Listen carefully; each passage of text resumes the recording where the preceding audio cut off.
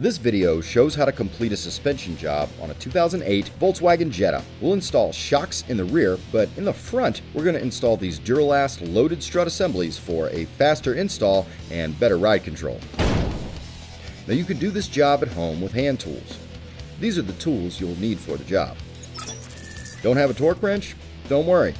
You can borrow it from AutoZone through the Loan-A-Tool program. It's free. You'll also need a good hydraulic jack, some jack stands, and some wheel chocks. Make sure the car is in park with the parking brake on before starting. You may also need some PB Blaster to loosen up tough nuts and bolts. Now for this one, we'll start under the hood. We need to mark the wiper position and remove the wiper arm nuts using a 13 millimeter. Now remove the weather stripping and you're just going to lift up to remove that cowl and then you'll be able to see the top of the strut assembly. Then remove the lug nut cap covers using a flat blade screwdriver.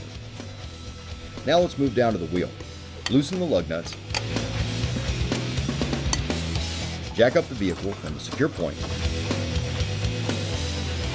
and place it on jack stand. Then remove the lug nuts and the wheel. We're going to remove this ABS sensor and then use a 10 millimeter to remove the brake hose bracket.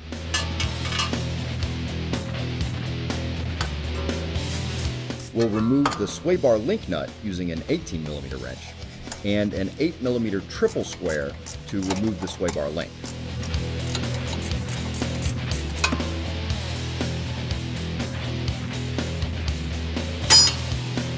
Now, remove the lower strut clevis bolt and nut using an 18 millimeter and a 14 millimeter triple square. Now remove the axle bolt using a 24 millimeter.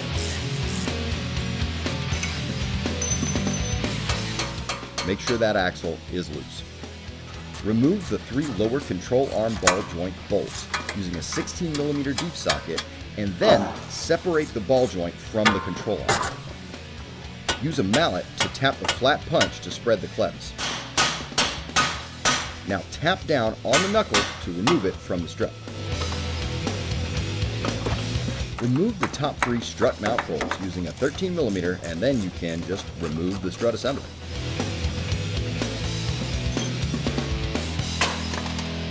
Install the new assembly and then tighten those top three strut mount bolts. Insert the lower strut into the clevis. You may need to use a jack to raise the clevis up into the strut. Install the clevis bolt and nut, then tighten those. Then you can remove the jack and tighten the axle bolt. Now install the lower ball joint into the lower control arm and tighten those three nuts. Let's bring the jack back here to support the lower control arm to insert the sway bar link and tighten the nut there.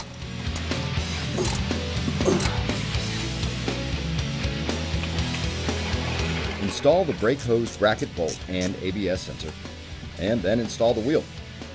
Tighten those lug nuts, then raise the car with the jack, remove the jack stands, and lower the car until the wheel is just touching. Then torque those lug nuts to 88 foot-pounds. Repeat on the other side before you reinstall the wiper cowl. Once you've got the other strut replaced, install the wiper cowl, weather strip, and wiper arms. Then you're ready to move to the rear. For the rear, raise the vehicle and remove the wheel using the same procedure as the front, just with the appropriate wheel and support points. Once the car is safely raised, you're going to want to use that jack to support the rear suspension, specifically the lower control arm. Now, remove the lower shock bolt using a 21 millimeter. Remove the top two shock mount bolts using a 16 millimeter.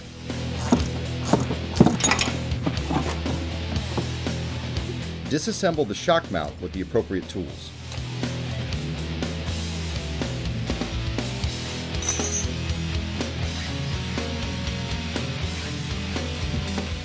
Install a shock mount onto the new shock. Install a shock assembly in the vehicle and tighten the upper top two bolts. Now install the lower shock bolt and you can remove the jack.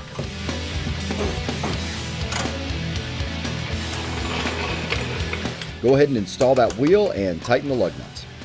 Then raise the car with the jack, remove the jack stand, lower the car until the wheel is just touching, and torque those lug nuts to 88 foot-pounds. Repeat this on the other side, and you're done. We recommend going for a test drive, getting an alignment check, and enjoying your new suspension.